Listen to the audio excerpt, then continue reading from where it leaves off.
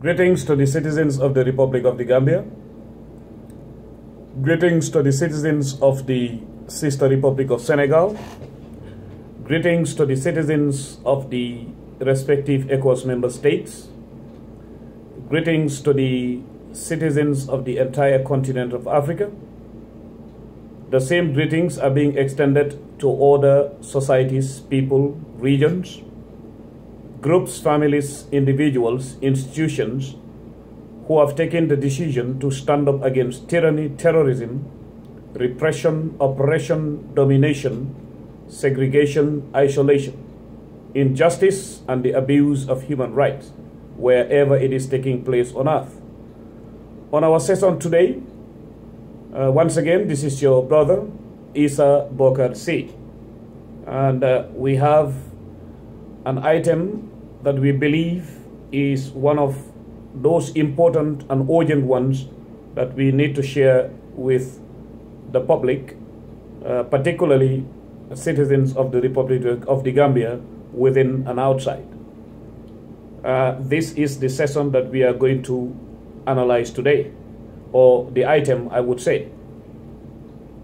The theme is Hillary, USA, Isatou, Gambia. Dr. Isatou Touray, first Gambian woman, declares to be an independent presidential candidate. Uh, Gambian women refuse to be limited by past experiences that, in quotes, tethered them in the kitchen and uh, rice field for ages. Our mothers, aunts, sisters, wives, and daughters, rising from the platform of home builders to the tower of nation builders. From the womb of a woman, we were multiplied into citizens with different needs. Within the huge room of nationhood, we were nurtured by her, the natural caregiver, who never asks for wages, and that is the mother. No one is a better guarantor than the mother who conceived us. In light of the above, the Republic of the Gambia braces up for a change we can rely on. Like Johnson Sirleaf of Liberia, Joyce Hilda Banda ne Tilla of Malawi, and Catherine Samba Panza, our own Dr. Isatou Touray has the motherly torch. Oppressed masses in the Gambia need so much at this time. Well, adding her candidature to those of the brothers who have been working so hard towards the same goal during the past two decades makes the Gambia's case all the more urgent within the geopolitical arena. Well, we are going to read her own press release, the press release announcing the intention and the decision of Dr. Isatou Touray. Dr. Isatou Touray, first Gambian woman, declares to be an independent presidential candidate. Most educated women have been active on onlookers of the political arena of our nation for many decades. Over the recent history of the Gambia, citizens have overcome the myths about womanhood and realized that indeed, as equal citizens, women have responsibility to salvage the country from its current state of affairs.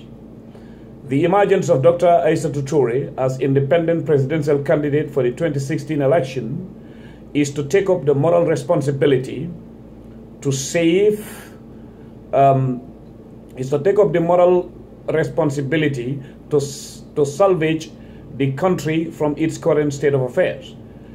The emergence of Dr. Isatou Touray as independent presidential candidate for the 2016 election is to take up the moral responsibility to save the country from the need of leadership and uh, direction. Dr. Touray is inspired and motivated by Gambians from different political and religious persuasions. Their desire for change in the face of immense economic hardship, restrictions on our fundamental freedom and personal liberty. It is in context that Dr. Touray is sponsored by individual Gambians who believe that it is possible to have non-violent change through the democratic process to have a better Gambia. As an independent presidential candidate, Dr. Touray has the belief and conviction that we can bring about change for a better Gambia by directing our efforts and political capital towards one end the singular pragmatic goal of ushering in a new and third republic that brings progress by building strong democratic in instruments and institutions, repealing the obnoxious laws that restrict our freedom and liberty, building a strong economy, and leveling the political playing field for all political parties so that the sovereign will of Gambians will always prevail in their choice of leadership. Concerned with the predicaments of the young people, she feels it is time to salvage the, cur the current situation they find themselves and forge a new and promising direction to bring hope and fruitfulness to their lives as the leaders to be. Dr. Isatou Touray is cognizant of the compelling need to come together as in the symbol of the broom that serves as the emblem of her campaign. Dr. Touray believes that we are stronger together for a better Gambia, and that Gambians should not miss opportunity of history in the making to nurture a democratic culture in the Gambia. As Gambians, we are possessed by our individuality, but bound together in the spirit of unity and focused on one goal to bring change for progress in the Gambia. The second part of this item is alert. United Democratic Party Executive Committee members being treated so bad in Mile 2 Central Prison.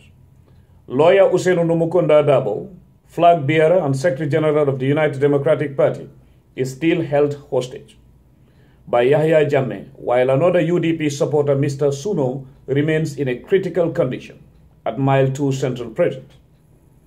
Fanta Darboe, Fatoumata Jawara, and Nogoy Njai left to die behind closed doors. Kemeseng Jammeh, Femi Peters, Amadou Sane suffer from swollen legs and are denied treatment. At any minute, at any time, one or two or more of these UDP executive members can die. Unfortunately, that is the hard fact. Take this warning very seriously. Yahya Jammeh has vowed to make sure they will all die at mile two, and he made it quite clear at Brikama during a rally that he held a couple of months back. We all heard that pronouncement. We have been seeing this over and over.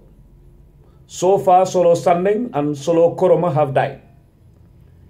It is either Gambians take to the streets, the army stops obeying Yahya Jammeh's illegal orders, or the Gambia will plunge into a turmoil.